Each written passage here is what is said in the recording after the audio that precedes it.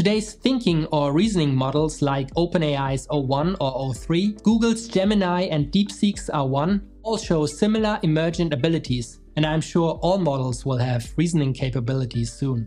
Reasoning takes the model longer to respond, shows their reasoning step by step, frequently checks their own work, and considers multiple approaches before coming up with an answer. When asking math or coding questions, you'll notice thinking models don't just give you an answer. They create a detailed chain of thought that sometimes even includes statements like, wait, that's not right, or let me recheck this calculation. Just like a human would. Pretty amazing stuff the longer I think about it. Point 3. How LLMs work under the hood. What's actually happening when you ask ChatGPT a question?